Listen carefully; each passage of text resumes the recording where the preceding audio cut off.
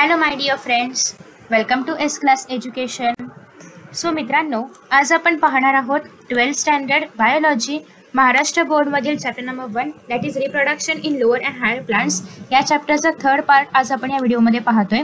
याआधी ऑलरेडी आपण फर्स्ट व्हिडिओमध्ये आणि सेकंड व्हिडिओमध्ये फ्लावरमधील मेल आणि फिमेल रिप्रोडक्टिव्ह सिस्टीम कंप्लीट केलेली आहे.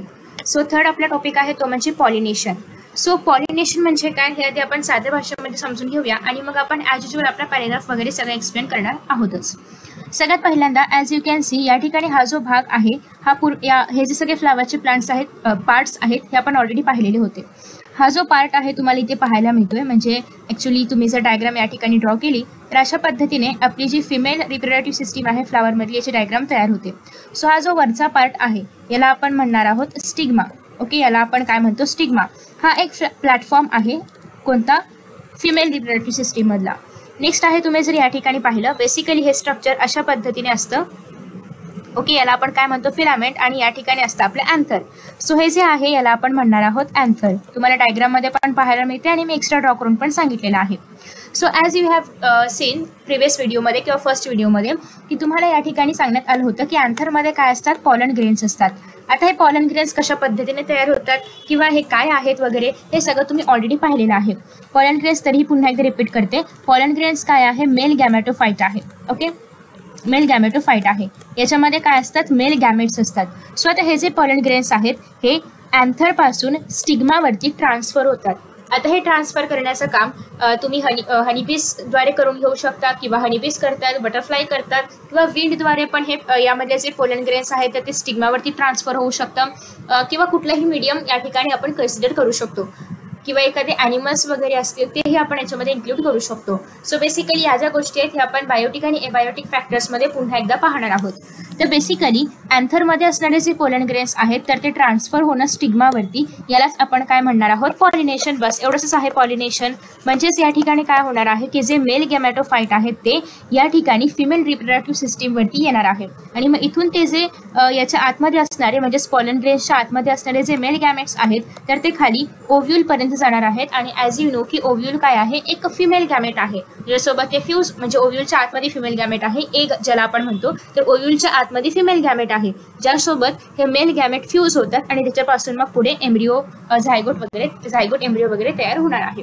तर ते पण आपण पाहूया. First of all pollination I hope की तुम्हाला कॉन्सेप्ट समजले असेल की transfer of pollen grains from anther to the stigma याला आपण म्हणतो पॉलिनेशन आता पॉलन ग्रेन्स आपण पाहिलं की नॉन मोठ्याला आहे त्याला कुठेही फ्लॅजेला वगैरे असलं काही नाहीये. त्यासोबतच फक्त आणि फक्त हे जे काही आपण पाहतोय पॉलन ग्रेन्स असेल फिमेल गॅमॅटोफाईट आहे मेल गॅमॅटोफाईट आहे किंवा फिमेल बॉडी पार्ट आहे मेल रिप्रेटिव्ह पार्ट आहे हे सगळं आपण फक्त अँजिओस्पम्समधलंच पाहतोय. ओके सो अँजिओस्पम्समध्ये असणारे हे जे पॉलन ग्रेन्स आहेत हे कसे आहेत? नॉन मोटाईल आहेत. Have evolved the strategy to use abiotic एजंट्समध्ये त्याच्यामध्ये विंड असेल किंवा वॉटर असेल किंवा बायोटिक एजंटमध्ये बर्ड्स असेल इन्सेक्ट्स असेल याच्यामध्ये बटरफ्लाय आहे हनीबी आहे किंवा स्नेल्स देखील हे जे आहेत हे फ्लावर्सवरती सतत व्हिजिट करत असतात. यांना फ्लावर्समधून काय मिळतो? मध मिळतो किंवा स्वीट मटेरियल मिळते जे की त्यांना आवश्यक आहे. ओके किंवा फ्लावरच्या ज्या पाकळ्या आहेत त्यामुळे म्हणजे जे अट्रॅक्टिव्ह कलर्स आहे किंवा जो फ्रेग्रन्स आहे याच्यामुळे हे सगळे इन्सेक्ट्स वगैरे फ्लावरकडे अट्रॅक्ट होतात आणि मग यांच्याकडून पॉलिनेशन घडवून आणलं जातं. सो बेसिकली हे सगळे फॅक्टर्स रिस्पॉन्सिबल आहेत पॉलिनेशनसाठी म्हणजे नेचरने पोलँड ग्रेन्सही तयार केलेले आहेत. ते स्टिग्मा सुद्धा तयार आहे एक सेल सुद्धा तयार केले मेल गॅमेट सुद्धा तयार केले आहेत again male gametes female gamete पर्यंत पोहोचावेत यासाठी सिस्टीम देखील सगळं तयार झालेलं आहे. ओके म्हणजे किती किती छान असं सगळं अरेंज केलेलं आहे. आफ्टर दॅट नेक्स्ट आहे कोरियन ग्रेन्स कसे आहेत नॉन मेटा मोटाईल्स आहेत आणि त्याच्यामुळे ते चालत चालत स्पॉम सारखे वगैरे जाऊ शकत नाहीत. सो दॅट्स माय त्याच्यामुळे काय आहे की यांना ट्रान्सफर करण्यासाठी या सगळ्या एजंट्सची आवश्यकता असते बायोटिक आणि abiotic agents okay after that next आहे की पॉलिनेशन इज पॉलिनेशनची डेफिनेशन लक्षात ठेवायची आहे. Pollination is the transfer of pollen grains from anther to stigma of the flower आता या ठिकाणी आपण पाहिलं की एकाच फ्लावरमध्ये स्टिग्मा पण आहे आंथर पण आहे. याला आपण काय म्हणणार आहोत? बायसेक्शुअल फ्लावर बट जर आपण काही फ्लावर्स पाहिले फॉर एक्झाम्पल खूप ह्याच्यामध्ये पपयामध्ये वगैरे तर पपयामध्ये फिमेल फ्लावर डिफरंट असतं ज्याला आपण पिस्टिलेट फ्लावर म्हणतो आणि मेल फ्लावर डिफरंट असतं ज्याला आपण स्टॅमिनेट फ्लावर म्हणतो. सो हे दोन्ही फ्लावर वेगवेगळ्या प्लांट्सवरती किंवा वेगवेगळ्या फांद्यांवरती असतात. मग त्या ठिकाणी पण हे जे ट्रान्सफर ऑफ पोलन ग्रेन्स आहे ते इतकी इझिली होत नाही. तिथे पण आपल्याला हनीबीज म्हणा किंवा बटरफ्लाय म्हणा या लोकांची आवश्यकता असते.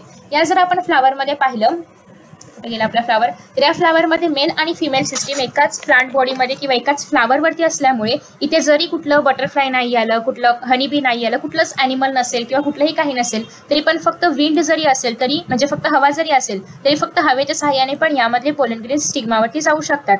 पण जर फ्लावर्स दुसऱ्या दुसऱ्या प्लांटवरती असतील मेल फ्लावर वेगळ्या प्लांटवरती आहे फिमेल फ्लावर वेगळ्या प्लांटवरती आहे तर त्या ठिकाणी मात्र एजंट्स असावेच लागतात. या फ्लावरमध्ये कुठलंही एजंट नसलं तरी पण इझिली पोलन ग्रेन्स ट्रान्सफर होऊ शकतात.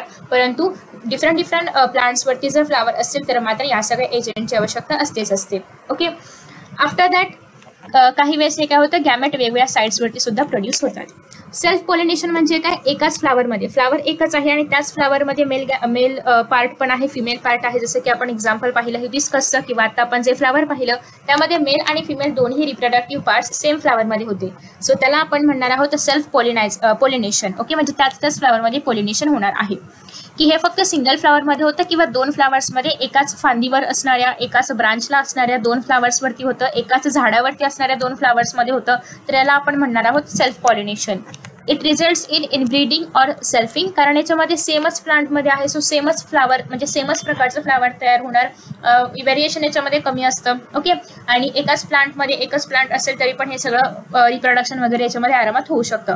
सो हे इनब्रीडिंग आणि सेल्फिंग आहे. म्हणजे सेल्फ थोडंसं त्याच त्याच प्लांटवरती होतं. त्याच्यामुळे याच्यामध्ये व्हेरिएशन शक्यतो नाहीच पाहायला मिळत. इन कॉन्ट्रास्ट क्रॉस पॉलिनेशन म्हणजे काय? एका प्लांटमधून दुसऱ्या प्लांटकडे जे पोलन ग्रेन्स आहेत ते ट्रान्सफर होणार आहेत. Okay same species species same पाहिजे. फक्त प्लांट आपण म्हणजे प्लांट दुसरा आहे.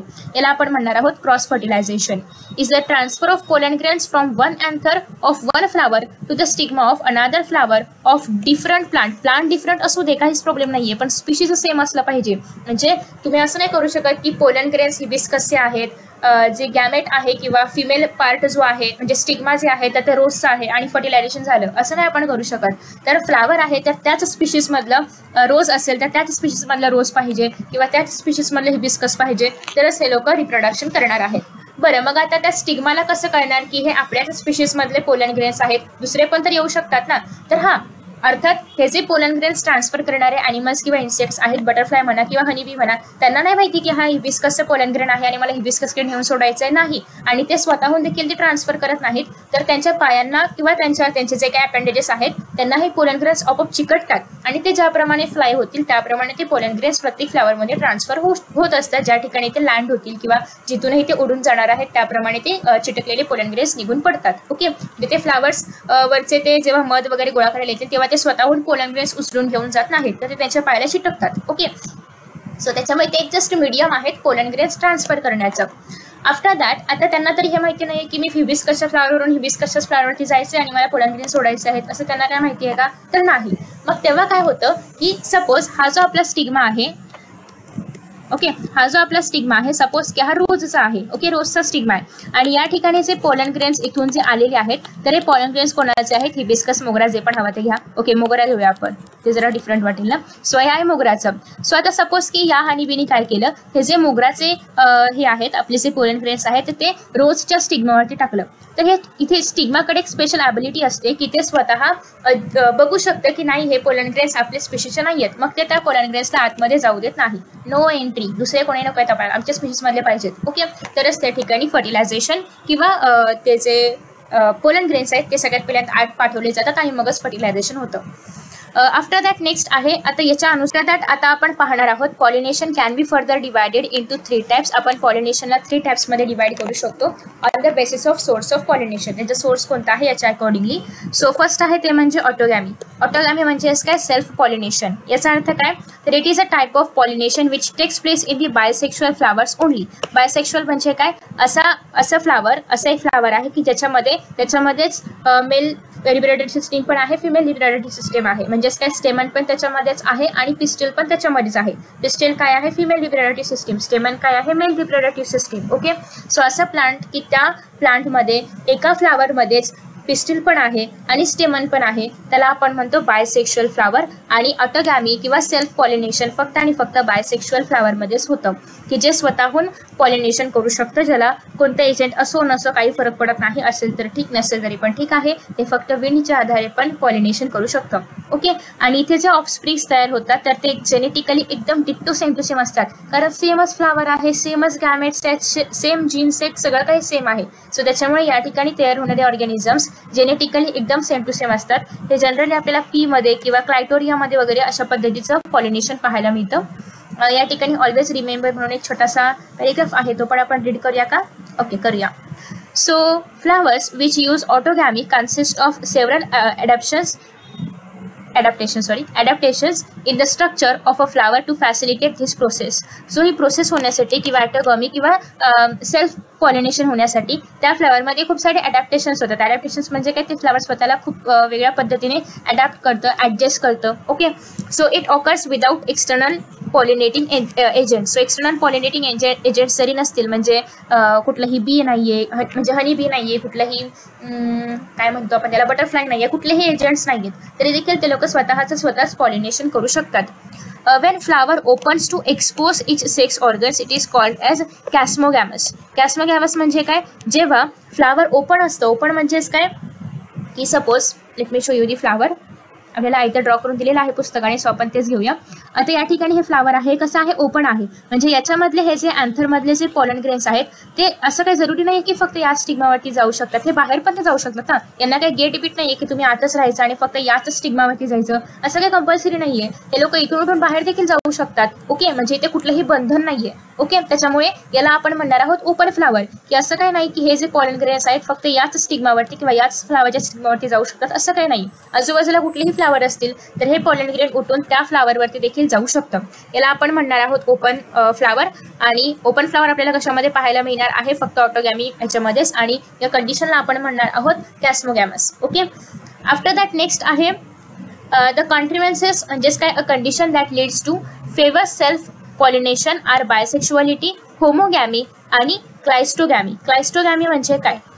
क्लायस्टोगॅमी किंवा क्रिस्टोगॅमी जो काही उच्चार असेल तो. क्लायस्टोगॅमी याचा अर्थ काय की फ्लावर क्लोज आहे. फ्लावर क्लोज आहे याचा अर्थ काय? गेलं कुठे गेलं फ्लावर हां फ्लावर क्लोज आहे म्हणजे काही फ्लावर बघा असे असतात की ज्याच्यामध्ये की याच्यामध्ये आतमध्ये जे अँथर आहे आणि याच्यातले जे पोलन ग्रेन्स आहेत ते फक्त आणि फक्त त्याच फ्लावरच्या स्टिग्मावरती जाऊ शकतात. इथून बाहेर ते जाऊ शकत नाही. म्हणजे फ्लावर एकदमच बंद आहे असं मला नाही म्हणायचं. पण असं त्या फ्लावरचं स्ट्रक्चरच असं असतं की ते जे पोलन ग्रेन्स आहेत ते फक्त आणि फक्त त्या फ्लावरच्या स्टिग्मावरतीच लँड होऊ शकतात. बाहेर ते जाऊ शकत नाहीत. तर त्याला आपण शक्यतो closed floor closed flower condition आहे असं आपण त्याला म्हणू शकतो. किंवा फ्लावर ओपन व्हायच्या आधीच पॉलिनेशन झालं. ओके फ्लावर पूर्णतः उघडायच्या आधीच थोडंसं उघडलेलं असतानाच पॉलिनेशन झालं याला ती हे फ्लावर आपण क्लोज फ्लावर कन्सिडर करू शकतो. आणि त्याच्यामध्ये जे पॉलिनेशन होतं ते कसं असणार आहे? क्लायस्टोगॅमी म्हणजे बेसिकली ऑटोगामी होण्यासाठी कोणत्या कंडिशन आहेत? एक तर ते फ्लावर थोडंसं बंद असायला पाहिजे जेणेकरून त्या फ्लॉवरमधल्या मोदे पोलोनग्रेन्स फक्त आणि फक्त त्याच स्टिग्मा त्याच फ्लावरच्या स्टिग्मावरती लँड होतील. सो त्या कंडिशनला आपण म्हणणार आहोत क्लायस्टोगॅमी सोबतच फ्लावरमध्ये त्याच फ्लावरमध्ये स्टिग्मा आणि त्याच फ्लावरमध्ये अंतर पण असायला पाहिजे म्हणजे मेल आणि फिमेल एकाच फ्लावरमध्ये असायला पाहिजे तरच सेल्फ पॉलिनेशन होऊ शकतं. त्यासोबतच होमोगॅमी असायला पाहिजे म्हणजे सिंगल फ्लावरमध्ये असलं पाहिजे सिंगल गॅमी म्हणजेच होमोगॅमी असायला पाहिजे हेटेरोगॅमस नसायला पाहिजे. तर अशा पद्धतीने होमोगॅमस म्हणजे काय? की जेव्हा अँथर आणि स्टिग्मा आहेत ते दोन्ही पण एकाच सेम टाईमला मॅच्युअर झाले पाहिजेत. म्हणजे अँथरमधून पॉलन ग्रेन्स आणि ओव्हरीमध्ये असणारं ओव्ह्यूल त्याच्यामध्ये असणारे एक सेल हे लोक एकाच टाईमला मॅच्युअर झाले पाहिजेत. तरच हे पॉसिबल आहे. कारण सपोज की या ठिकाणी या ठिकाणाहून पॉलन पॉलन ग्रेन तर आलं बट आतमध्ये गेल्यानंतर त्याला कळते की अरे इथे तर एक सेल मॅच्युअरच नाहीये. मग आतमध्ये जाऊन उपयोग काय त्याचा? ओके सो अशी कंडिशन व्हायला नको. यासाठी या ठिकाणी एकाच टायमिंगला ओवम पण ओवम मधले एक सेल पण आणि पोलन ग्रेन पण दोन्ही पण एकाच टाइमला मॅच्युअर झाला पाहिजे. तरच पोलन ग्रेनचा आतमध्ये जाऊन उपयोग आहे ना नाहीतर मग पोलन ग्रेन आतमध्ये जाऊन बिचारा काय करणार? किंवा या ठिकाणी एक सेल मॅच्युअर झालं पण अजून पोलन ग्रेनच नाही आलं. तर असं नको व्हायला ना दोघांचं काहीतरी एक समान म्हणजे दोघांमध्ये काहीतरी एक सेम काहीतरी असलं पाहिजे ना सेम टाइम पिरियड असला पाहिजे. तर हे plant same time period same time period show करतात. आणि यालाच आपण म्हणणार आहोत होमोगॅमी ओके सो कोणत्या तीन कंडिशन फेवरेबल आहेत सेल्फ पॉलिनेशनसाठी एक म्हणजे बायसेक्शुअलिटी असायला पाहिजे दुसरं म्हणजे होमोगॅमी असायला पाहिजे तिसरं म्हणजे म्हणजे क्लायस्टोगॅमी असायला पाहिजे. So undergo flower in same plants which exhibit cleistogamy की जे ओपन ओपनमध्ये नसतात क्लोज स्टेटमध्ये असतात. आणि हे आपल्याला कशामध्ये पाहायला मिळतं? कमलिनामध्ये पाहायला मिळतं. So plants like viola commelina can produce both chasmogamous and cleistogamous flower on the same plant so या ठिकाणी फ्लावर क्लोज पण असतात फ्लावर ओपन पण असतात. क्लोज फ्लावर थोडंसं क्लोज म्हणजे एकदम बंद नाही थोडंसं की ज्या ठिकाणी uh, त्या त्या फ्लावरमधला पोलंड ग्रेन्स फक्त त्या फ्लावरमधल्या स्टिग्मावरच येऊन पडणार बाहेर कुठेही जाणार नाही. असं ते फ्लावर स्वतःची अरेंजमेंट करून घेतं. याला आपण म्हणणार आहोत क्लायस्टोगॅमी आणि ते जर पोलंड ग्रेन्स बाहेरही जात असतील बाहेरचं तिथे जर आतमध्ये राहत नाहीत असं होत नाही. बाहेर पण जातात आणि आतमध्ये पण जात आहेत आतमध्ये पण राहत आहेत ओके सो अशी जर कंडिशन असेल त्याला आपण म्हणणार आहोत what chasmogamous okay chasmogamy after that next आहे. चला आपण ह्याच्या जे घाण केली आपण ती इरेज करू इथून. ओके नेक्स्ट uh, आहे दॅट इज गॅटिनोगॅमी जेटिनोगॅमी किंवा geitonogamy whatever you want to say you can pronounce तसंही प्रोनाऊन्सिएशनपेक्षा आपल्याला लिहायला मार्क आहेत. सो मी याचं गेटोनगॅमी लक्षात ठेवते कारण स्पेलिंग जीवरून स्टार्ट होतं त्याच्यामुळे. So geitonogamy it is transfer of pollen grains to a stigma of different flower but same plant plant same अशी जी कंडिशन आहे. या ठिकाणी फ्लावर डिफरंट आहे. याचा अर्थ फ्लावर कसे असणार आहेत? युनिसेक्शुअल युनिसेक्शुअल म्हणजे काय? एका फ्लावरमध्ये सपोज की हे आपलं फर्स्ट फ्लावर आहे. फ्लावर डब्बा वाटतो. हा. हां. कसं काढू यार फ्लावर असं आहे. असं एक फ्लावर आहे. हे सपोज करा की रोज आहे. माझी ड्रॉइंग एवढी चांगली नाही आहे सपोज करा की आपलं फर्स्ट फ्लावर आहे आणि गुडू गुडू गुडू गुडू गुडू. हे आपलं सेकंड फ्लावर आहे. हे मेल फ्लावर आहे आणि हे फिमेल फ्लावर आहे. ऑब्विसली मेल फ्लावरमध्ये फक्त स्टेमन असणार म्हणजे फक्त फिलामेंट आणि अँथर असणार आहे. फिमेल फ्लावरमध्ये फक्त पिस्टिल म्हणजे स्टिग्मा स्टाईल ओव्हरी असणार आहे. त्याच्यामध्ये अँथर नसणार. ओके सो डिफरंट फ्लावर आहेत बट डिफरंट फ्लावर सेम प्लांटवरती आलेत. हे माझं सेम प्लांट आहे आणि याच्यावरतीच हे फ्लावर आलेले आहेत. सो याला आपण म्हणतो मोनोइशियस कंडिशन की ज्या ठिकाणी प्लांट सेम असतं बट फ्लावर डिफरंट डिफरंट असतात. म्हणजे एक फ्लावर मेल आहे एक फ्लावर फिमेल आहे. हे शक्यतो पपायामध्ये वगैरे आपल्याला पाहायला मिळतं. सो ओके पपायामध्ये नाही सॉरी कोकोनटमध्ये पाहायला मिळते. सॉरी सॉरी सॉरी कोकोनटमध्ये आपल्याला पाहायला मिळते. कोकोनट असेल किंवा कुकोरबिटेसी असेल. कुकोरबिटेसी म्हणजे कुकुंबर असेल किंवा बॉटल गार्ड आहे. कुठले कुठले तर गार्ड फॅमिलीमध्ये ते सगळे या ठिकाणी तुम्हाला पाहायला मिळतील. पपायामध्ये तुम्हाला डायोशियस कंडिशन पाहायला मिळेल. सॉरी हा. आता या ठिकाणी सेम प्लांट आहे आणि सेम प्लांटवरती डिफरंट डिफरंट फ्लावर्स आहेत. म्हणजे इथे एकाच प्लांटमधले गॅमेट्स एकाच सॉरी एकाच फ्लॉवरमधले गॅमेट्स एकाच फ्लॉवरमध्ये जातात असं आहे का? तर नाही. गॅमेट्स इकडून इकडे जाणार आहेत इकडून इकडून इकडे जाणार आहेत. म्हणजे मेल गॅ मेल फ्लॉवरमधून फिमेल फ्लॉवरमध्ये जाणार आहेत. सो पॉलिनेशन कसं आहे? क्रॉस पॉलिनेशनशी सिमिलर आहे कारण भलेही सेम प्लांट असलं तरी पण फ्लावर सेम नाहीये. सो याला आपण क्रॉस पॉलिनेशन म्हणू शकतो. याच्यामध्ये पॉलिनेटिंग एजंट्स हवे असतात. कारण ऑब्विसली एवढं मोठं डिस्टन्स स्वतःहून पोलन ग्रेन ट्रॅव्हल करू शकत नाही. त्याच्यामुळे या ठिकाणी ट्रान्सफर करण्यासाठी इतर हनीबीस असायला पाहिजे विंड असायला पाहिजे काहीतरी पॉलन एजंट असायला पाहिजे. ओके पॉलिनेटिंग एजंट असायला पाहिजे. बट याच्यामध्ये जेनेटिक व्हेरिएशन कुठेही पाहायला मिळत नाही. कारण का? कारण सेमच प्लांट आहे ना सो त्याच्यामुळे सेमच जीनस जीन्स असणारे किंवा सेमच जेनेटिक कॅरेक्टर्स असणारे जे आपले गॅमेट्स आहेत म्हणजे मेल गॅमेट्स आहेत ते सेमच या ठिकाणी फिमेलकडे ट्रान्सफर होत आहेत. म्हणजे अगेन इथे आपल्याला जेनेटिक व्हेरिएशन जास्त पाहायला मिळत नाहीये. म्हणजे तसं पाहायला गेलं तर हे फ्लावर्स पण जेनेटिकली एवढे व्हेरियस आपल्याला पाहायला मिळणार नाही. जेनेटिकली हे लोक सेम असणार आहेत. सो हे सिमिलर आहे ॲटोगॅमीशी पण फक्त डिफरन्स एवढाच आहे की फ्लावर्स डिफरंट आहेत. ॲटोगॅमीमध्ये काय होतं? फ्लावर्स सेम होते सेम प्लांटवरती गेटोनोगॅमीमध्ये काय आहे? फ्लावर्स फ्लावर्स डिफरंट आहेत बट प्लांट सेम आहे. ओके नेक्स्ट आहे झिनोगॅमी झिनोगॅमी म्हणजे काय? ॲक्च्युअल क्रॉस पॉलिनायझेशन आहे. म्हणजे या ठिकाणी प्लांट पण डिफरंट आहे. फ्लावर ऑब्विसली डिफरंट असणार आहेत याला आपण आउट ब्रिडिंगही म्हणतो. हे खूप महत्त्वाचं आहे. कारण असं की व्हेरिएशन जर आपल्याला हवे असतील प्लांट्समध्ये किंवा फ्लावर्समध्ये तर त्यासाठी झिनोगॅमी खूप महत्त्वाचं आहे. हे क्रॉस पॉलिनेशनचा एक प्रकार आहे. अर्थात हे पण क्रॉस पॉलिनेशन आपण याला पण म्हणू शकतो. पण हे तितकंसं क्रॉस पॉलिनेशन नाही कारण याच्यामध्ये जे जीन्स आहेत किंवा जेनेटिक व्हेरिएशन्स जे आहेत ते आपल्याला पाहायला मिळत नाही. कारण प्लांट सेम आहे. बट झिनोगॅमीमध्ये काय होते की प्लांट्स सुद्धा डिफरंट आहेत. प्लांट्स डिफरंट असल्यामुळे ऑब्विसली फ्लावर डिफरंट असणार आहेत. म्हणजे काय? हे एक प्लांट आहे आणि हे एक प्लांट आहे. सपोज की ह्याच्या या प्लांटवरती सगळे मेल फ्लावर्स आहेत आणि या प्लांटवरती सगळे फिमेल फ्लावर्स आहेत. सो हे मेल गॅमेट इथून इथं ट्रान्सफर होणार आहे. म्हणजे ऑब्विसली या ठिकाणी यासाठी पण पॉलिनेटिंग एजंट्सची आवश्यकता आहे. ओके सो या ठिकाणी स्पिशीज मात्र सेम असायला पाहिजे. स्पिशीज सेम असायला पाहिजे. फक्त प्लांट्स डिफरंट आहेत. फ्लावर्स डिफरंट आहेत. मध्ये ऑब्विसली कितीही डिस्टन्स असू शकतो. बट या ठिकाणी स्पिशीज सेम असायला पाहिजे. आणि इथून जे तयार होणारे ऑफस्प्रिंग्स आहेत त्याचे ते जेनेटिकली डिफरंट असतात. कारण प्लांट डिफरंट आहे जीन्स डिफरंट आहेत. त्याच्यामुळे या ठिकाणी जेनेटिकली व्हेरिएशन आपल्याला पाहायला मिळतं. Majority of flowering plants depend depend on the transfer of pollen grains virtually all seed plants need to be pollinated Most of the food and fiber crops grown throughout the world depends on the pollinators for the reproduction. Obviously या ठिकाणी पॉलिनेटर्सची म्हणजेच pollinating एजंटची गरज आहे. त्याच्यामुळेच honeybee म्हणा किंवा butterfly म्हणा हे लोक खूप महत्त्वाचे आहेत प्लांटची स्पिशीज किंबहुना पूर्ण वर्ल्ड टिकवून ठेवण्यासाठी. कारण जर प्लांट्स रिप्रोड्यूस नाही झाले किंवा अशा पद्धतीने पॉलन ग्रेन्सचे ट्रान्सफर नाही झाले तर ऑब्व्हियसली प्लांटची संख्या कमी होईल व्हेरिएशन कमी होईल. त्याच्यामुळे त्याचा किंबहुना फरक हा ह्युमॅन पॉप्युलेशनवर किंवा ह्युमॅन स्पिशीजवरती पण कधी ना कधीतरी पडणार आहेच. त्याच्यामुळे जरी हनीबी म्हणा किंवा बटरफ्लायज वगैरे हे इन्सेक्ट्स जरी स्मॉल असले तरी पण यांचा खूप जास्त फायदा होतो पूर्ण इकोसिस्टममध्ये किंवा पूर्ण चेनमध्ये okay okay okay okay. So after that next आहे the agents responsible for pollination यांचं पण आपण ग्रुप केलेलं आहे. एकतर ए बायोटिक म्हणजे जे नॉन लिव्हिंग आहेत ते आणि बायोटिक म्हणजे जे लिव्हिंग आहेत ते.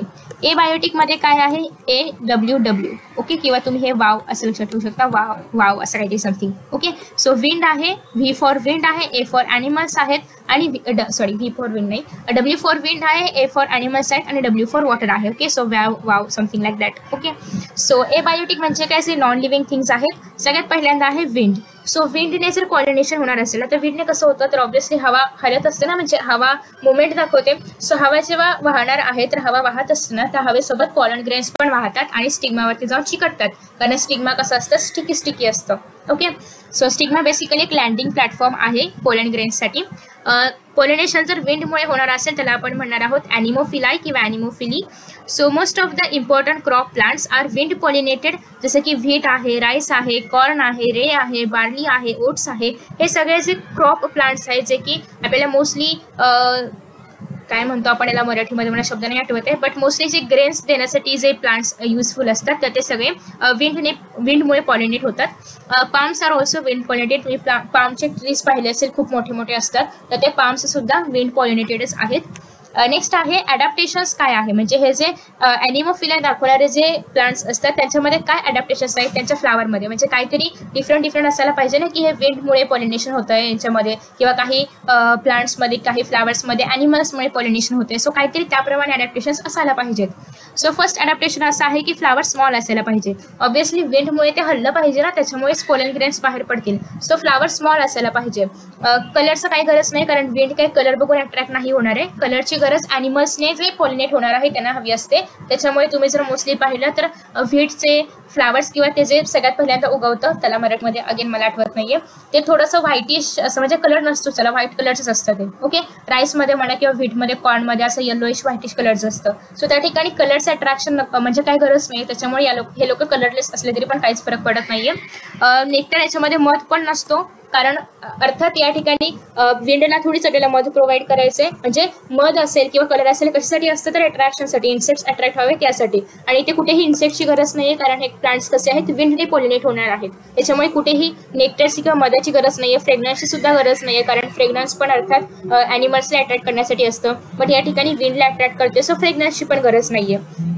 नेक्स्ट आहे पोलन ग्रेन्स लाइट असायला पाहिजेत. पोलन ग्रेन्स जड असतील तर ऑब्व्हियसली विंड काहीच करू शकत नाही कारण विंड फक्त हलक्या गोष्टींनाच वाहून घेऊन जाऊ शकते. ओके सोबतच ड्राय असायला पाहिजेत. जर पोलन ग्रेन्स स्टिकी असतील किंवा चिटकून बसले असतील अँथरला तर ऑब्व्हियसली विंड त्याला घेऊ जाऊ शकत नाही किंवा वाहून घेऊ शकत नाही. ओके नेक्स्ट आहे खूप जास्त नंबरमध्ये असायला पाहिजे तरच पोलनेशनचे चान्सेस इन्क्रीज होऊ शकतात. कारण असं पण तर होऊ शकतं की हवा आली हवेने पोलन ग्रेन्स हलवले देखील किंवा वाहून देखील नेले पण ते पोलन ग्रेन्स स्टिग्मावरती न पडता जमिनीवर पडले. असं पण एकत्र होऊ शकतं ना? सो दॅट्स वाय पोलन संख्या जास्त असायला पाहिजे जेणेकरून पोलिनेशनचे चान्सेस इन्क्रीज होतील. ओके आफ्टर दॅट नेक्स्ट आहे stigma is feathery to trap pollen carried by wind currents so अशा पद्धतीने हे जे स्टिग्मा आहे तर स्टिग्मा पण फेदरी असायला पाहिजे. जेणेकरून जे काही पोलन ग्रेन्स आलेले आहेत तर ते पटकन असे म्हणजे फेदरी असतील तर ते पटकन कॅच करू शकतात ना स्टिग्मा सॉरी पोलन ग्रेन्सला सो दॅट्स वाय यांचं जे स्टिग्मा आहे तर ते फेदरी असायला पाहिजे. सो हे काही अडॅप्टेशन्स आहेत. Stamen are एक्झ exserted with long filaments and versatile anthers so याच्यामध्ये फिलामेंट्स कसे असले पाहिजेत लॉंग असले पाहिजेत मोठे मोठे फिलामेंट्स असले पाहिजेत जेणेकरून हवा आली की ते पटकन हलतील आणि त्याच्यामध्ये पटकन पॉलन ग्रेन्स बाहेर पडतील. स्टिग्मा आणि स्टिग्मा आणि स्टेमन दोन्ही पण एअर सोबत एक्सपोज असले पाहिजेत. म्हणजे काय? एअरला एक्सपोज असले पाहिजेत. आणि ते कुठे कुठेतरी मध्ये असे लपून बसलेत. मग हवा आली काय गेली काय त्यांना काहीच फरक पडणार नाही. सो ते असं नसायला पाहिजे. ते पूर्ण एअर करंटला एक्सपोज म्हणजे काय म्हणू शकतो आपण त्याला? पूर्ण ते असे एअर करंटमध्ये असले पाहिजेत की हवा हवा आली तरी त्याचा परिणाम यांच्यावरती झाला पाहिजे. ओके? सो आहे की कुठेतरी लपवून बसलेत कोणीतरी अशा खूप मोठा असा पाणी त्याच्यामध्ये ते अडून बसलेले आहेत असं नसायला पाहिजे. मग विंड येऊन काहीच फायदा होणार नाही. ओके? सो त्याच्यामुळे हे सगळे अडॅप्टेशन्स आहेत. Again we will we just revise so first आहे की त्याच्यामध्ये नेक्टर नसायला पाहिजे असलं नसलं तरी काही फरक पडत नाही. फ्रेग्रन्स पण असला नसला तरी पण काही फरक पडत नाही. बट फ्लावर स्मॉल असायला पाहिजे. पोलन ग्रेन्स लाइट वेटवाले असल्या पाहिजेत ड्राय असले पाहिजेत आणि त्यांचा नंबर खूप जास्त असला पाहिजे का तर पॉलिनेशनचे चान्सेस इन्क्रीज करण्यासाठी. नेक्स्ट आहे स्टिग्मा फेदरी असला पाहिजे आणि वॉटर करंट करंटला एक्सपोज असलं पाहिजे. स्टेमन देखील water current sorry sorry sorry air current air करंटला एक्सपोज असलं पाहिजे आणि लॉंग फिलामेंट असलं पाहिजे कारण ऑब्विसली एअर आल्यानंतर त्याचं असं हालायला पण पाहिजे ना. सो दॅट्स शिवाय ते त्याच्यामधून पॉलिनग्रेस बाहेर पडू शकतात. इथे तुम्हाला एक छोटंसं डायग्राम पाहायला मिळते मग त्याच्या प्लांटचं मग त्याच्या झाडाचं. नेक्स्ट आहे pollens of wind pollinated plants are most frequently associated with symptoms of hay fever among people whose who are sensitive to pollen grains it is caused by hypersensitivity to pollens so कधी कधी काय होतं की जेव्हा हे pollens transfer होत असतात विंडद्वारे तर कधी कधी मे बी चुकून जर आपण त्या जवळ किंवा त्या विंडमध्ये असणाऱ्या पोलनच्या जवळ जर आपण गेलो तर आपल्या नाकात पण ते जाऊ शकतं पोलन ग्रेस कारण ते खूप मायन्यूट असतात. सो ते मे बी जाऊ शकतात आणि त्याच्यामुळे पण काही लोकांना त्रास होऊ शकतो. कारण काही लोक पोलन्सला पण खूप हायपर सेन्सिटिव्ह असतात त्यांचं नाक किंवा त्यांचं पूर्ण बॉडी स्ट्रक्चर ओके सो त्याच्यामुळे त्यांना थोडासा त्रास पण होऊ शकतो. नेक्स्ट आहे पॉलिनेशन बाय वॉटर याला आपण म्हणणार आहोत हायड्रोफिली कारण पाणी म्हणजे काय? Hydro so pollination by water फक्त थर्टी जनरामध्ये आपल्याला पाहायला मिळतं. फक्त थर्टी जिनसमध्ये पाहायला मिळतं. कशामध्ये? ते पण मोनोकॉर्ड्समध्ये ते पण ॲक्वॅटिक मोनोकॉर्ड्समध्ये ऑब्व्हियसली पाण्यामुळे जर पोलन ग्रेन्स ट्रान्सफर होणार असतील तर हायली रिक्वायर्ड की ते प्लांट पाण्यामध्ये असायला पाहिजे ना? तरच पाण्याने ते ट्रान्सफर होईल. सो ॲक्वॅटिक आहे तर कन्फर्म आहे. पण मोनोकॉर्ड्समध्ये होतं हे तुम्हाला लक्षात ठेवायचं आहे डायकॉर्ड्समध्ये पण होतं पण खूप रेअरली होतं. सो बेसिकली हे मोनोकॉर्ड्समध्येच होणार आहे. एक्झाम्पल आहे वॅलिसनेरिया नेक्स्ट आहे झोस्टेरा आणि नेक्स्ट आहे कॅलॅटो केर केरॅटोफायलम ओके सो केरॅटोफायलम किंवा सेरॅटोफायलम जे पण तुम्हाला म्हणायचं असेल नेक्स्ट आहे झोस्टेरा आणि थर्ड आहे ते म्हणजे व्हॅलिसेनेरिया आफ्टर दॅट आता याच्यामध्ये पण काही अडॅप्टेशन्स आहेत. एक तर फ्लावर स्मॉल असलं पाहिजे ऑब्व्हियसली इन्स इन्सकॉन्स्पिक्युअस म्हणजे काय? स्मॉल असलं पाहिजे. ओके थोडंसं मायन्यूट मायन्यूट नाही म्हणते ना. थोडंसं छोटं असलं पाहिजे. फ्लावर खूप मोठं असेल आणि ते पाण्याने पाण्याच्या करंट्सने हलताच नाही आलं त्या हलवताच नाही आलं त्या फ्लावरला तर मग काहीच उपयोग नाही आहे नेक्स्ट आहे perianth and outer floral parts are unwettable म्हणजे जे पाकळ्या आहेत किंवा जे पेरियंत म्हणजे काय? पाकळ्या आणि कॅलिक्स असे अटॅच असतात. सो पाकळ्या म्हणजेच काय? कोरोला. सो कोरोला किंवा पेटल्स आणि कॅलिक्स असं अटॅच असणार याला आपण म्हणतो पेरियंट सो पेरियंट आणि जे बाहेरचे फ्लोरल पार्ट्स आहेत पाकळ्या वगैरे त्या अनवेटेबल म्हणजे त्या ओल्या झाल्या नाही पाहिजेत. कारण त्या ओल्या झाल्या तर प्लांट फ्लावर जड होऊ शकतं आणि ते खाली ओपोपस गळून पण पडू शकतं. सो दॅट्स वाय ते अनवेटेबल म्हणजेच त्याच्यावर एक वॅक्सी लेअर वगैरे असतो. So they can they can get wet next आहे pollen grains are long and unwettable due to presence of mucilage so pollen grains पण लॉंग असतात आणि त्याच्यावरती एक म्युसिलसचा म्हणजे म्युकसचा एक लेअर असतो जेणेकरून पाणी आलं तरी पण ते वेट होणार नाहीत. कारण ऑब्व्हियसली पाण्याने ते वेट झाले तर त्याचं फंक्शन डिक्रीज होऊ शकतं किंवा ते खाली पडू शकतात पाण्यामध्ये. ओके आपल्याला असं नाही करायचं आहे सो दॅट्स बाय ते त्याच्यावरती एक म्युसिलसचा लेअर असतो. नेक्टर आणि फ्रेग्रन्स याच्यामध्ये नसला नसतोच कारण काही गरज नाही ना त्याची कारण आपण पाण्याला थोडी अट्रॅक्ट करते पाणी स्वतःहून फ्लो होणार आहे. सो दॅट्स बाय नेक्टर आणि फ्रेग्रन्सची पण काही गरज नाही आहे अगेन कलर पण असेल नसेल काही फरक पडत नाही. सो आता हे जे हायड्रोफिले आहे हे पण दोन प्रकारचे असणार आहे. अगेन याच्यामध्ये दोन प्रकार आहेत.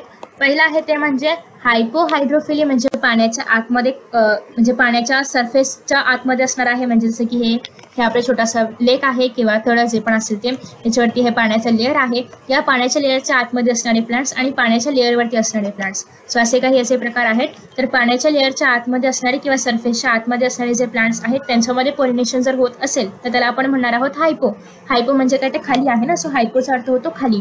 So hypohydrophily here the pollen grains are heavier than water obviously पाण्याच्या आतमध्ये आहे त्याच्यामुळे पॉलन ग्रेन्स पाण्यापेक्षा थोडेसे जड असणार आहेत.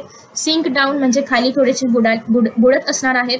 आणि caught by stigmas of female flowers म्हणजे सिंक होणार आहेत. म्हणजे सपोज की एक मी ड्रॉ हा आहे पाण्याचा सरफेस या ठिकाणी खाली सपोज हे असं काहीसे फ्लावर आहे आणि या ठिकाणी इथे जे पण पोलन ग्रेन्स असतील तर ते थोडेसे बुडत असणार आहेत आणि स्टिग्मा या ठिकाणी थोडंसं बाहेर आलेला असतो आणि तो या ठिकाणी या पोलन ग्रेन्सला काय करतो? कॅच करतो. ओके सो याला आपण म्हणणार आहोत हायड्रो सॉरी हायपोहायड्रोफिलाय आणि हे झॉस्टेरामध्ये पाहायला मिळतं. झॉस्टेरा सी सीमध्ये असणारे ग्रासेस आहेत म्हणजे गवत आहे एक प्रकारचं. आणि पोलन ग्रेस या ठिकाणी ऑब्व्हियसली लॉंग असायला पाहिजेत कारण ते बुडत असताना स्टिग्माला त्यांना पकडायचं आहे सो पोलन ग्रेस लॉंग असायला पाहिजेत. रिबेन लाईक सुद्धा असायला पाहिजेत विदाऊट एक्झाईन एक्झाईन म्हणजे काय? आपण पाहिलं की पोलन ग्रेन्सच्या बाहेर एक टफ कवरिंग असते ज्याला आपण म्हणतो एक्झाईन सो ते टफ कवरिंग जर असेल तर ऑब्व्हियसली ते अशा पद्धतीने पाण्यासोबत कसेही रिबिन सारखे मूव्ह नाही करू शकणार कारण ते खूप टफ असतं. सो दॅट्स वाय याच्यामध्ये एक्झाईन नसतं. सो तुम्हाला असाही प्रश्न येऊ शकतो की विदाऊट एक्झाईन पोलन ग्रेन्स हे कोणाचं अडॅप्टेशन आहे? तर ते हायपोहायड्रोफिलायसाठी विदाऊट एक्झाईनवाले पोलन ग्रेन्स हवे असतात. ऑब्व्हियसली एक्झाईन नाही म्हणजे स्पोरोपोलेनिन पण त्याच्यामध्ये नसणार आहे कारण स्पोरोपोलेनिन पासूनच एक्झाईन तयार होतं. आता याच्यामध्ये एपी म्हणजे काय वरती? ओके हायपो म्हणजे काय खाली? एपी म्हणजे काय वरती? हायड्रो म्हणजे काय पाणी? आता पाण्याच्या सरफेसवरती किंवा पाण्याच्या सरफेसवर साधारणतः जर पॉलिनेशन होत असेल तर त्याला आपण म्हणणार आहोत epihydrophily so the pollen grains float on the water surface and reach the stigma of the female flower तर इथे बेसिकली काय होतं? की तुम्हाला या ठिकाणी जे फ्लॉवर पाहायला मिळते हे आहे मेल फ्लावर आणि तुम्हाला या ठिकाणी हे जे असं कॉइल्ड स्ट्रक्चर पाहायला मिळते हे आहे female flower so basically female आणि मेल फ्लॉवर दोन्ही हे जे सरफेस आहे वॉटरचं जे अप्पर सरफेस आहे त्याच्या आसपासच असतात. म्हणजे खूप खाली खोलामध्ये किंवा एकदम डीप सी बेडमध्ये वगैरे असं काही नसतं. तर ज्या ठिकाणी वॉटरचा सरफेस आहे त्याच्याच आसपास हे लोक असतात. मग जेव्हा हे प्लांट म्हणजेच हे जे फिमेल फ्लावर आहे हे जेव्हा मॅच्युअर होतं ऑब्विसली जर आतमधले ओव्ह्युल्स ओव्हरी मॅच्युअर झाले तर ते फ्लावर काय होणार आहे? फिमेल फ्लावर मॅच्युअर होणार आहे. सो जेव्हा ते मॅच्युअर होतात तेव्हा हे आधी सुरुवातीला ते असं असं एवढंच कॉइल्ड असतं. जसं जसं मॅच्युअर होईल त्याप्रमाणे हा कॉइल असं सुटत जातो आणि थोडंसं कमी कमी कॉइल्ड होत जातं. आणि बेसिकली ते तुम्ही कधी स्प्रिंग पाहिली का? हा तर ते स्प्रिंग जेव्हा स्ट्रेच करतात तेव्हा कसं त्याचं कॉइलिंग कमी कमी होत जातं. तर त्याचप्रमाणे हे जसं जसं मॅच्युअर होईल त्याप्रमाणे हळूहळू ते कॉइलिंग कमी कमी होत जातं. आणि अर्थात कॉइलिंग कमी झाली की त्या स्प्रिंगची लेंथ वाढणार. म्हणजे ऑब्व्हियसली तेवढीच लेंथ असते बट फक्त आपण कॉइलिंग कमी केल्यामुळे ती स्प्रिंग थोडीशी स्ट्रेट होते ताट होते. आणि त्याच्यामुळे आपल्याला लेंथ जास्त झालेली पाहायला मिळते. सो बेसिकली जेव्हा हे फ्लावर एवढूसच होता तेव्हा त्याची हाईट इथपर्यंत पाण्यापर्यंत जात नव्हती. पण जसं ते मॅच्युअर होईल त्याप्रमाणे त्याची हाईट पाण्यापर्यंत पोहोचते. मग एकदा का हे फ्लावर म्हणजे फिमेल फ्लावर पाण्यापर्यंत गेलं की या ठिकाणी मेल फ्लावर्स इथून डिटॅच होतात. कशावरून? पूर्ण प्लांट बॉडीमधून डिटॅच होतात. डिटॅच म्हणजे काय निघून पडतात. आणि ते खाली पडत नाहीत. तर ते काय होतात? तिथे वरती जातात पाण्यावरती फ्लोट करायला लागतात. या ठिकाणी या फिमेल फ्लावरच्या भोवती ते फिरत असतात पोलन ग्रेन रिलीज करतात आणि अर्थात ते सरफेसवरती फिरत असल्यामुळे हे जे पोलन ग्रेन आहेत तर ते थोडेसे वजनाने हलके असतात. सो त्याच्यामुळे ते या ठिकाणी फिरत असताना पोलन ग्रेन्स पण इथे फ्लोटिंग करतच राहतात कशामध्ये? पाण्याच्या सरफेसवरती कारण ते अर्थातच त्याचं वेट खूप कमी आहे. So they can easily float on the surface of the water so that's why जेव्हा ते फ्लोट होत असतात तेव्हा या ठिकाणी खालून वरती आलेलं जे काही फ्लावर आहे फिमेल फ्लावर त्याचा स्टिग्मा या ठिकाणी असतो. आणि हे जे आपले पोलन ग्रेन्स आहेत हे अर्थातच या ठिकाणी सरफेसवरती असणाऱ्या स्टिग्मावरती जाऊन चिकटतात. ओके आणि अशा पद्धतीने पाण्याच्या सरफेसवरती या ठिकाणी पॉलिनेशन होतं. दॅट्स वाय याला आपण म्हणणार आहोत एपी हायड्रोफिलिक सो आता हे कोणामध्ये होतं? व्हॅलिसनेरिया याचं एक बेस्ट एक्झाम्पल आहे. हे डायोशियस प्लांट आहे. What do you mean by dioecious plant तर असा प्लांट की ज्या ठिकाणी इथे जर आपण पाहिलं तर हा पूर्ण मेल फ्लावरचा एरिया इथे कुठे तुम्हाला फिमेल फ्लावर असं कॉइल्ड स्ट्रक्चर नाही पाहायला मिळत आहे. त्याचप्रमाणे हे पूर्ण फिमेल प्लांट आहे. या ठिकाणी तुम्हाला कुठेही मेल फ्लावर्स नाही पाहायला मिळत आहेत. सो डायोशियस प्लांटमध्ये काय होतं? जे मेल फ्लावर्स आहेत आणि जे फिमेल फ्लावर्स आहेत ते डिफरंट डिफरंट प्लांट्सवरती असतात. त्याला आपण म्हणतो डायोशियस प्लांट अजून एक दुसरी गोष्ट म्हणजे हे फ्रेश वॉटरवाला प्लांट आहे. ओके आता काय काय अडॅप्टेशन असायला पाहिजेत? सगळ्यात पहिली गोष्ट म्हणजे pollen ग्रेन्सची specific gravity sorry gravity pollen ग्रेन्सची specific gravity पाण्याशी इक्वल असायला पाहिजे. तरच ते पोलन ग्रेन्स पाण्यावरती फ्लोट करू शकतात आणि स्टिग्मावरती जाऊन अटॅच किंवा स्टिक होऊ शकतात. ओके जर तुम्ही असं एज्युम केलं की पोलन ग्रेनची ग्रॅव्हिटी स्पेसिफिक ग्रॅव्हिटी वॉटरपेक्षा जास्त आहे तर ऑब्व्हियसली ते पोलॅन ग्रेन खाली जातील. आपल्याला खाली जायला पाहिजे का? तर नको आहे. तिथे ऑलरेडी आपण हायड्रोफिलीमध्ये पाहिलं की ते खाली जाऊन मग ते पॉलिनेशन होतं ते आपण पाहिलेलं आहे. आपल्याला आता काय झालं पाहिजे की हे जे पोलन ग्रेन्स आहेत तर ते सरफेसवरतीच फ्लोट झाले पाहिजेत. सो ऑब्व्हियसली त्यांची स्पेसिफिक ग्रॅव्हिटी पाण्यापेक्षा पाण्याशी इक्वल असायला पाहिजे. कमी पण नको आणि जास्तही नको. आपल्याला काय पाहिजे? इक्वल पाहिजे. So that they can flow easily sorry float easily next आता असं आहे का की सगळ्या ॲक्वेटिक प्लांट्समध्ये फक्त आणि फक्त वॉटरनेच पॉलिनेशन होणार आहे? तर नाही. असेही काही एक्वेटिक प्लांट्स आहेत की जे पाण्यामध्ये राहत असून त्यांच्यामध्ये एअर करंट्स म्हणजेच हवेने पॉलिनेशन होतं. त्याला आपण म्हणणार आहोत ॲनिमोफिलस मगाशी आपण याच्याबद्दल पूर्ण माहिती पाहिलेली आहे. याचे एक्झाम्पल्स आहेत ते म्हणजे पोटॅमॅक्टन आणि हॅलोगिरीस सो हे काय आहेत? एक्वेटिक असूनही यांच्यामध्ये एअर करंट्सच्या हेल्पने पॉलिनेशन होतं. मग असेही काही प्लांट्स आहेत की ज्यांच्यामध्ये ते एक्वेटिक असून with the help of insects यांच्यामध्ये पॉलिनेशन होतं. So with the help of insects म्हणजे काय? एन्टेमोफिलस ज्यांच्यामध्ये इन्सेक्ट्स पॉलिनेशन करतात त्याला आपण म्हणणार आहोत एन्टेमोफिलस प्लांट्स सो लोटस तुम्ही पाहिलं असेल. आपण आतापर्यंत काय पाहिलं की जे हायड्रोफिलस प्लांट्स आहेत त्यांच्यामध्ये कलरफुल पेटल्स किंवा नेक्टर वगैरे या सगळ्याची गरज नसते. पण तरीही लोटस मधून सुगंध येतो. लोटसचे पेटल्स खूप कलरफुल असतात. रिझन हे आहे की लोटसमध्ये पॉलिनेशन वॉटर करतच नाहीये. कोण करणार आहे? इन्सेक्ट्स करणार आहे. त्यासोबतच वॉटर हॅसिंथ आहे वॉटर लिली आहे. या सगळ्या फ्लावर्सला भयंकर असे सुंदर फ्रेग्रन्स असतो किंवा जसं त्या इन्सेक्ट्सला आवडेल. भलेही आपल्याला नाही आवडला तरी त्या इन्सेक्ट्सला आवडेल असा सुंदर फ्रेग्रन्स असतो.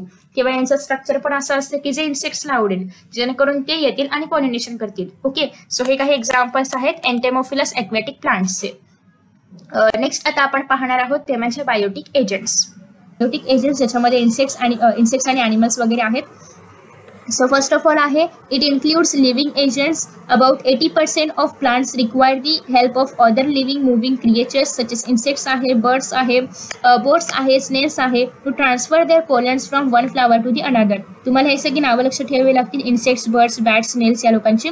सो नेक्स्ट आहे सगळ्यात पहिल्यांदा आपण पाहतोय एंटीमोफिलाय याचा अर्थ ऑलरेडी सांगितल्याप्रमाणे इन्सेक्ट्स पॉलिनेशन करणार आहेत.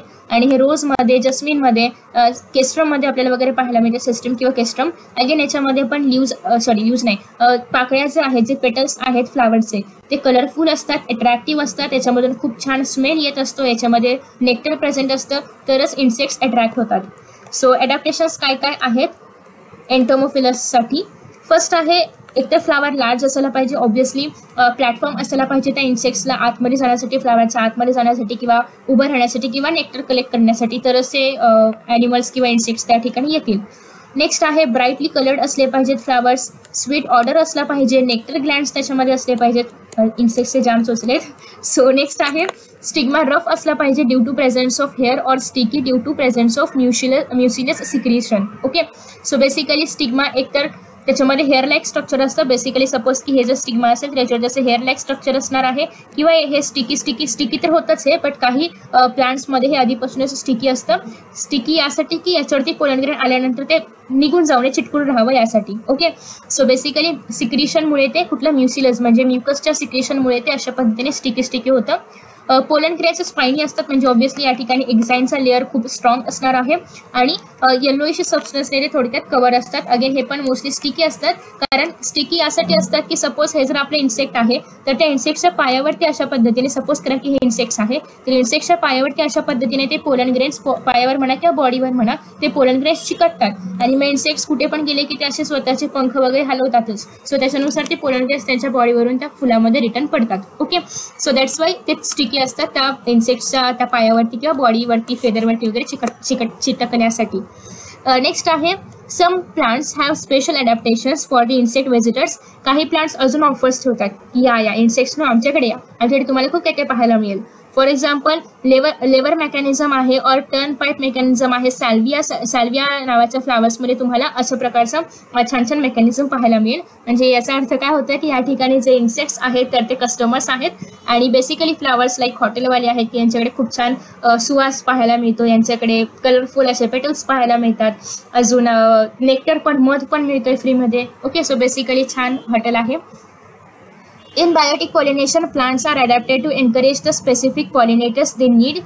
They are said to have developed pollination contrivance. So basically असे काही प्लांट्स आहेत की ज्यांना ते तेच म्हणजे त्या त्या प्रकारचे स्पेसिफिक इन्सेक्ट्स किंवा स्पेसिफिक पॉलिनेटर्सचीच गरज असते Plants and pollinators have co-evolved physical characteristics that make uh, them to interact successfully. Such characteristics are considered pollination syndromes.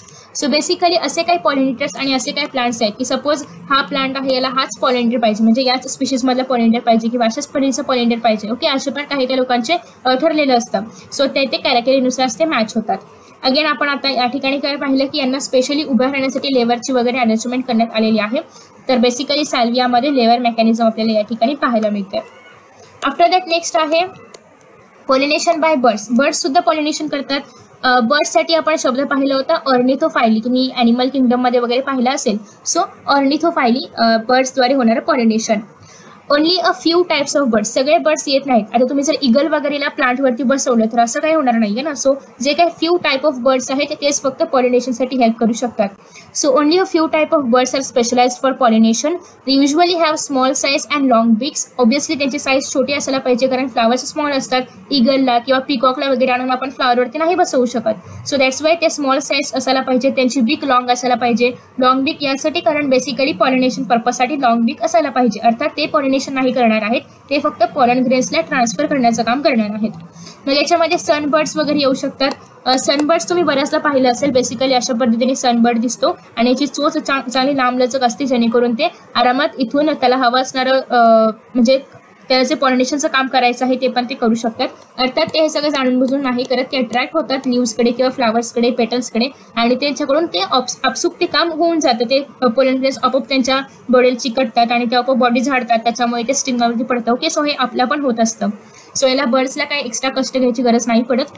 Exam आता असेही काही प्लांट्स आहेत की जे फक्त बर्डनी पॉलिनेट होतात. सगळेच प्लांट्स होतात असं काही नाहीये बट काही प्लांट्स आहेत. एक्झाम्पलमध्ये आहे बॉम्बॅक्स ज्याला आपण कॉमन लँग्वेजमध्ये रेड सिल्क कॉटन ट्री म्हणतो. नेक्स्ट आहे कॅलिस्टेमॉन ज्याला आपण बॉटल ब्रश म्हणतो कारण ते त्या आकाराचं असतं. युटे वगैरे आहेत असे काही एक्झाम्पल्स आपण इथे घेऊ शकतो. डायग्राम पण तुम्ही पाहू शकता. नेक्स्ट आहे अडॅप्टेशन्स काय आहेत? तर बेसिकली फ्लावर्स ब्राईटली कलर्ड असायला पाहिजेत तरच ऑब्व्हियसली जे आपले बर्ड्स आहेत तर ते अट्रॅक्ट होतील.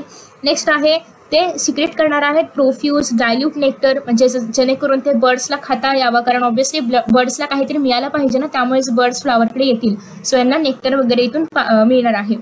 नेक्स्ट आहे पोलन ग्रेन्स स्टिकी आणि स्पायनी असायला पाहिजेत. Flowers are generally without fragrance कारण बर्ड्सला फ्रेग्रन्स नाही घ्यायचं आहे त्यांना फक्त तिथे काहीतरी खायला वगैरे नेक्टर वगैरे मिळायला पाहिजे. कारण ऑब्विसली बर्ड्सला एवढा चांगला स्मेलचा सेन्स नाही आहे किंवा ते फ्रेग्रन्स त्यांना त्याची काही गरजच नाही आहे आफ्टर दॅट नेक्स्ट आहे पॉलिनेशन बाय बॅट्स ज्याला आपण टेरोफाईल आहे. टेरोफाईल आहे असं म्हणतो. बॅट्स ॲज यू नो की त्याला आपण मराठीमध्ये काय म्हणतो? अगेन आठवत नाही मला. बट त्याला ते पण ते एक ॲनिमल आहे मॅमल आहे स्पेशली आणि ते देखील पॉलिनेशनसाठी हेल्प करतं. Bats can transport pollen over long distance sometimes several किलोमीटर्सपर्यंत as you all know की फ्लावर्स प्रत्येक वेळेस सेम प्लांटवरती असतील असं नाही. सेम स्पेशिसचं फ्लावर खूप खूप दूरच्या डिस्टन्सवरती पण असू शकतं.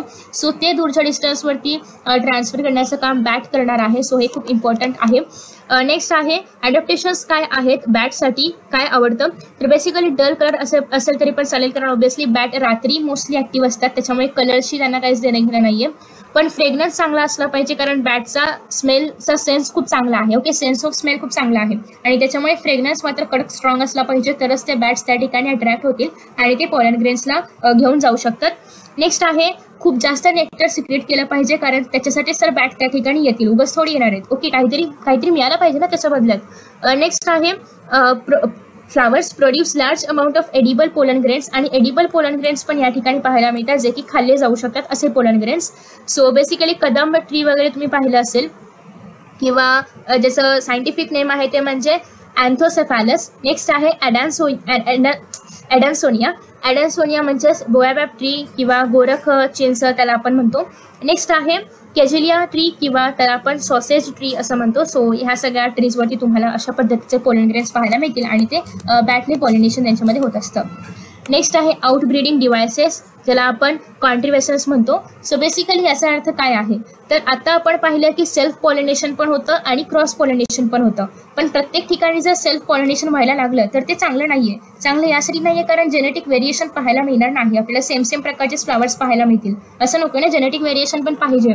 सो दॅट्स वाय या ठिकाणी आउटब्रीडिंग डिवायसेस डिव्हायसेस आहेत की जे सेल्फ पॉलिनेशन प्रिव्हेंट करणार आहेत म्हणजे होऊ देणार नाहीत. Okay so basically self pollination prevent करतात. याचा अर्थ काय? क्रॉस पॉलिनेशन प्रमोट करतात. हो ओके नाही? सेल्फ पॉलिनेशन आपण थांबवतोय. याचा अर्थ आपण क्रॉस पॉलिनेशनला प्रमोट करतोय. अँड इन्क्रीज जेनेटिक डायव्हर्सिटी याच्यामुळे काय होणार आहे? खूप नवीन नवीन प्रकारचे जेनेटिक व्हेरिएशनवाले फ्लावर्स आपल्याला पाहायला मिळतील. सो याच्यामुळे जेनेटिक डायव्हर्सिटी इन्क्रीज होणार आहे. नेक्स्ट आहे plants have evolved a wide variety of sexual strategies genetic diversity is as essential factors for evolution by natural selection obviously जर जेनेटिक डायव्हर्सिटी असेल तरच इव्हॉल्युशन होणार आहे.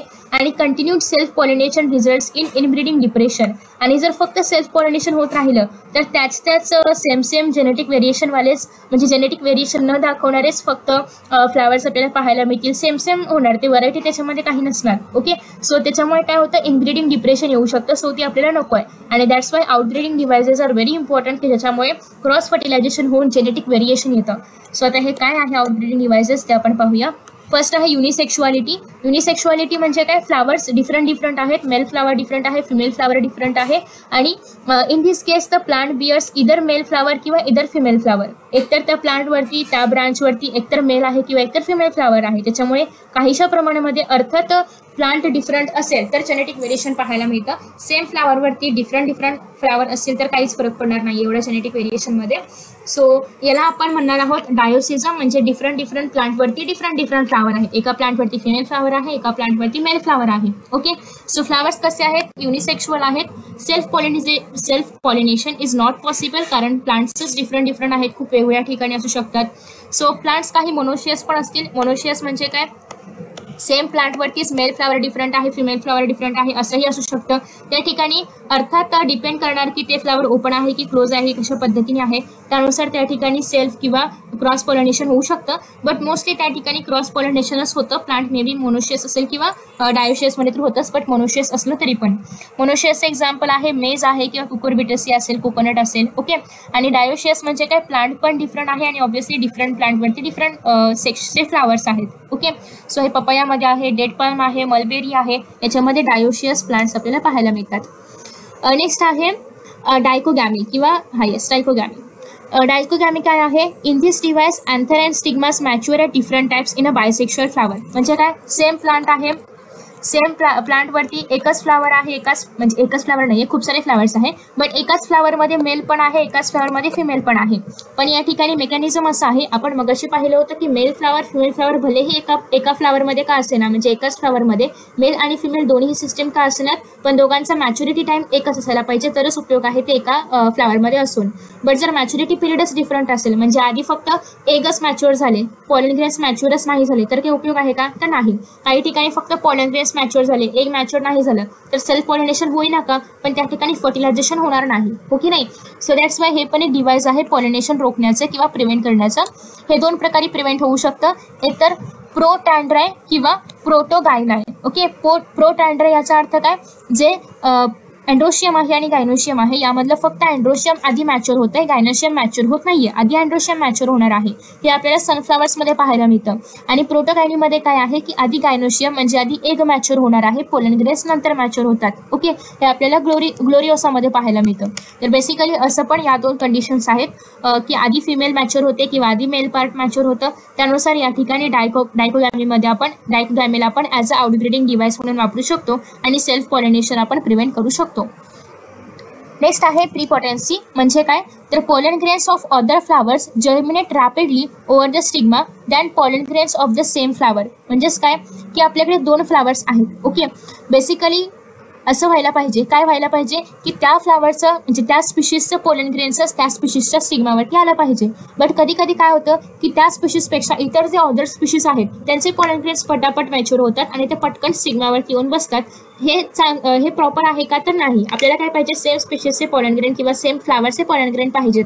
बट असं न होता कोणत्याही दुसऱ्या फ्लावरचे किंवा दोन दुसऱ्या स्पेशीसचे पॉलनग्रेन्स येऊन स्टिग्मावरती बसतात. हे कोणामध्ये होतं? मोस्टली ॲपलमध्ये अशा पद्धतीने होणार आहे.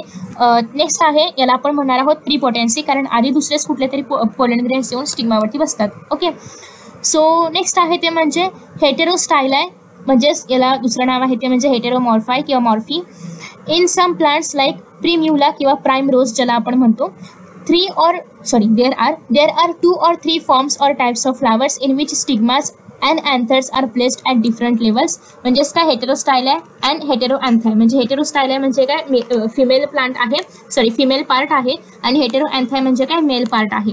This prevents the pollens from reaching, reaching the stigma and pollinating it. In heteromorphic flowers pollen grains produced from another anther uh, pollinate stigmas produced at the same level So basically या ठिकाणी काय होतं हे जे हेटेरोस्टाईल आहेत आणि हे जे हेटेरो अँथाय आहेत हे डिफरंट डिफरंट लेवलवरती काय होणार आहेत प्लेस म्हणजे जो जे अँड्रोशियम आहे ते डिफरंट लेवलवरती प्लेस प्लेस्ड आहे किंवा डिफरंट लेवलवरती आहे. आणि जे डायनोशियम आहे ते डिफरंट लेवलवरती आहे. सो त्याच्यामुळे काय होते की जे आपले पोलन ग्रेन्स आहेत तर ते स्टिग्मापर्यंत पोहोचू शकत नाहीत कारण ते वर खाली असतील किंवा खूप उंचावर आणि कमी उंचावर असं काहीतरी फ्लावरमध्ये अरेंजमेंट असेल. त्याच्यामुळे पोलन ग्रेन्स पटकन स्टिग्मावरती येऊ शकत नाहीत किंवा ती लेवलवरती ते येऊ शकत नाहीत. ओके सो अशा पद्धतीनेही आउटब्रिडिंग आउटब्रीडिंग होऊन सेल्फ पॉलिनेशन आपण डिले करू शकतो किंवा आपण नाहीसं करू शकतो किंवा त्याच्यामध्ये होणार नाही ते आपण प्रिव्हेंट करू शकतो. आफ्टर दॅट नेक्स्ट आहे किंवा याच्यामध्ये अजून एक अशी कंडिशन आहे की दुसऱ्या फ्लावरचे म्हणजे दुसऱ्या त्याच स्पीशीजमध्ये दुसऱ्या फ्लावरचे जे पोलेंट्रियन्स आहेत ते पटकन स्टिग्मावरती येऊ शकतात आणि अशा पद्धतीने क्रॉस फर्टिलायझेशन पण होऊ शकतं. नेक्स्ट आहे हर्कोगॅमी. हर्कोगॅमीमध्ये काय आहे? It is a mechanical device to prevent self pollination in a bisexual flower in plants mature physical barrier is present between two sex organs and avoid contact of pollen with a stigma of same flower for example Calotropis आहे. म्हणजे काय? Basically या ठिकाणी काय केलं जातं? आपल्याला self pollination थांबवायचं आहे. फ्लावरमध्ये दोन्ही पण आहेत मेल पण आहे फिमेल पण आहे एकाच फ्लावरमध्ये आहे. आणि आपल्याला या ठिकाणी काय पाहिजे? सेल्फ पॉलिनेशन नाही झालं पाहिजे. मग आपण काय करतो की मेल आणि फिमेल या दोघांच्या मध्ये एक बॅरियर टाकणार आहोत. म्हणजे काय?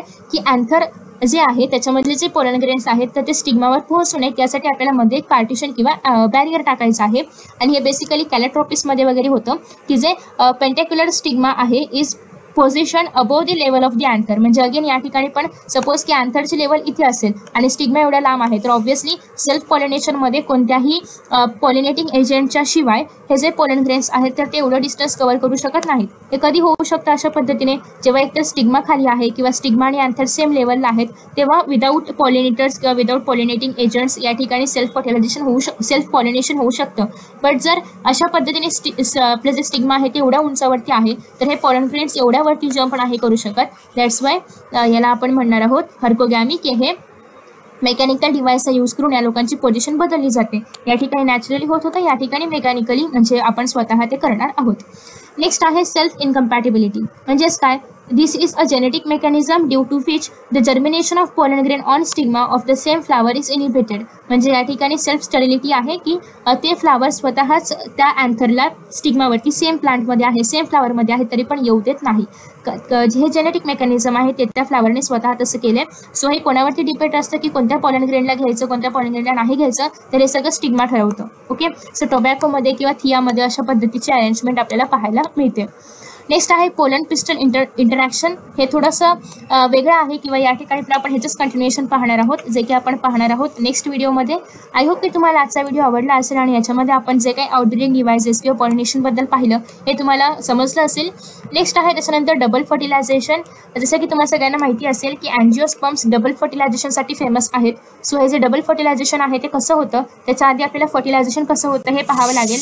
आणि मग आपण पाहणार आहोत डबल फर्टिलायझेशन आणि त्याच्यानंतर आहे डेव्हलपमेंट ऑफ एंडोस्पम हे डबल फर्टिलायझेशनचा रिझल्ट आहे. ओके तर हा पूर्ण चॅप्टर खूप इंटरेस्टिंग आहे खूप छान आहे. याच्याबद्दल तुम्ही थोडक्यात टेन्थ स्टँडर्डला पण काही पाहिलं असेल पॉल्युनेशनबद्दल म्हणा किंवा फ्लावरच्या स्ट्रक्चरबद्दल वगैरे त्याचा पण उपयोग तुम्हाला या ठिकाणी होणार आहे. So thank you so much for watching this video अशाच प्रकारचे अनेक व्हिडिओज तुम्ही नक्की पाहत राहा. ते सगळे व्हिडिओज अपलोड केल्यानंतर तुम्हाला या एंड स्क्रीनवरती पाहायला मिळतीलच.